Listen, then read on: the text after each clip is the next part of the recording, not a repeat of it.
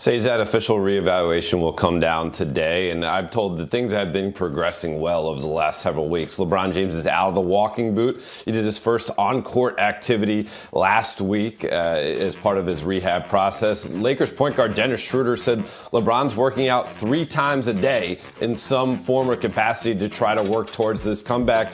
And a league source familiar with LeBron James's thinking told me that he believes LeBron will push for some time over the final three games that the Lakers play in Los Angeles April 5th against the Clippers, April 7th against the Suns, April 9th against the Jazz to target that range so long as there's no setbacks in his rehab to make his comeback, get back onto the court, uh, get a little bit of a, I guess, a dress rehearsal before either a play in tournament or a playoff berth for the Lakers.